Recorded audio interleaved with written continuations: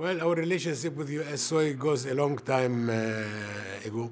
I think the most important quality is the uh, regularity. It is a product that is consistent. Every ton is similar to another uh, ton. We want the same quality so that we have a consistent product, us and our customers and the clients and so on. So the American uh, products, and particularly the soybeans, they have been the first in reproducing the standard quality, the same quality over and over again. The way the U.S. farmers, you know, all the farms are inlands. They are not in the big uh, cities, New York, Chicago, Miami, whatever, I mean.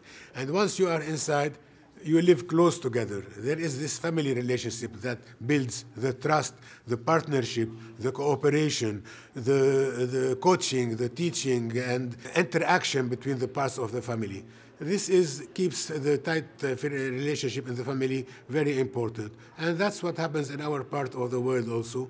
There is affection, there is affection when there is growing. I mean, you, you feel with the, with the land, you feel with the grain, you feel how it develops. It's like raising a children, a child once you, you put uh, uh, into the ground and then you uh, you water it or you see it watered and then you put fertilizers and etc and you see it grow and you see the weather sometimes adverse to you and uh, you are sitting and seeing adverse elements uh, beating you up and looking uh, to repair and to correct and to further develop. I mean this is very attaching. This is how the, the farmer gets attached to, to his products, his products. And that's why they want the product to be the best product.